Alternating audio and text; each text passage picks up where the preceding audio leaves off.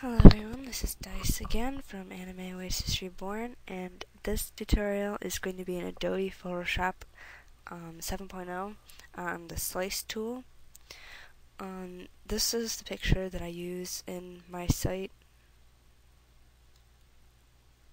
um, so I'll just use the same one as in the site tutorial. The Slice tool you will find about here. And to use it, really all you do is you click it. You can also have slice select tool, which I'll explain later. But I'm going to put this into four slices. The size doesn't really matter, you can have them whatever you want but this is what I have.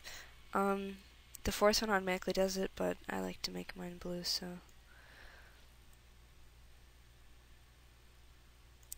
The slice select tool,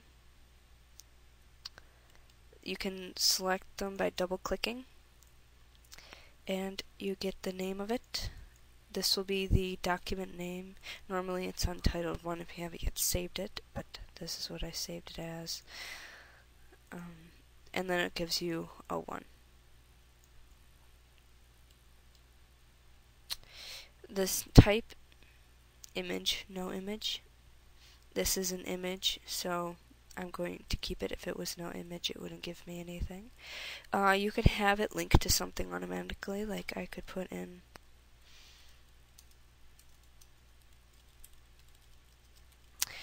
or the target, which could be the alt tag would just be if you hover over it. Um, and message text is just text that other people, I believe, will be able to read also. I usually ignore this one because it's not important.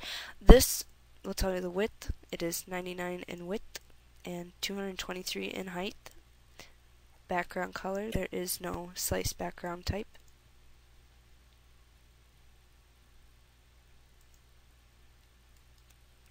If you're done with it, then you just hit OK.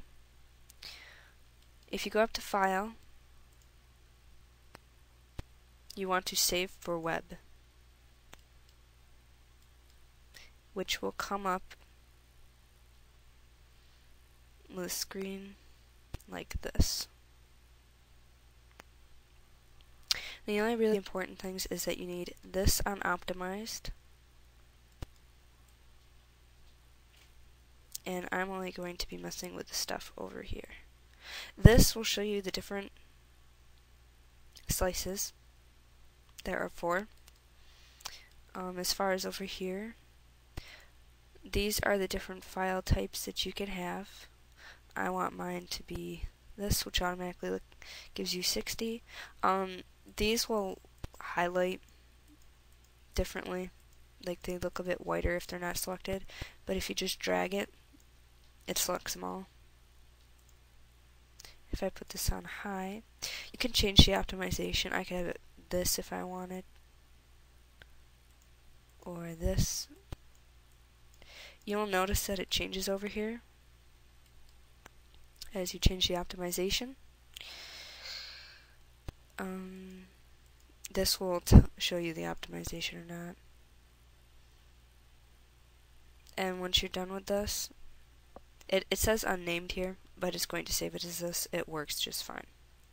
You This will just give you like this one is 60, this one's 80, 30, 10. High is probably the best one. Also, the nice thing about this is if you look at the bottom, I don't have room on my screen, but down in the bottom left hand corner it will tell you the type of file it is, how what the size is, and how long it will take to load. And in the bottom right of this area, it will tell you the quality, which would be the optimized number. When you're done, you just hit save. It will give you the HTML and the images, so you don't have to piece them back together on your own. You can the computer does that for you. The only thing about 7.0 is the fact that it will save in HTML. So if you're going to use XHTML, you're going to have to make all the capital letters lowercase and put all the quotations in. Um, when you it will not show up with these blue things on your slices. You will get a full image like this. Now, the picture itself, it is four images. But uh, that is a slice tool, and I hope this tutorial helped